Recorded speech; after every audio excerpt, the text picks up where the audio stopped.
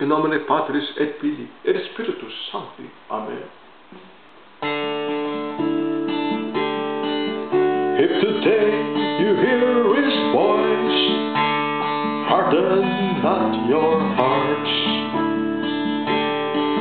Come, let us sing joyfully to the Lord.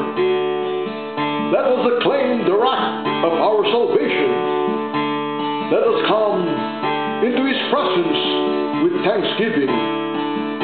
Let us joyfully sing psalms to him. If today you hear his voice, harden not your hearts.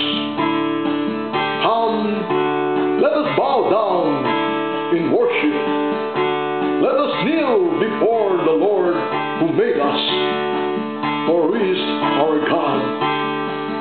we are the people he shepherds, the flock he guides. If today you hear his voice, harden not your hearts.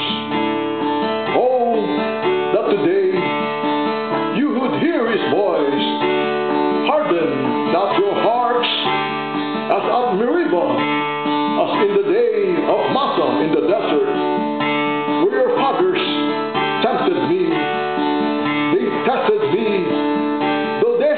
seen my works. If today you hear his voice, harden not your hearts. If today you hear his voice, harden not your heart.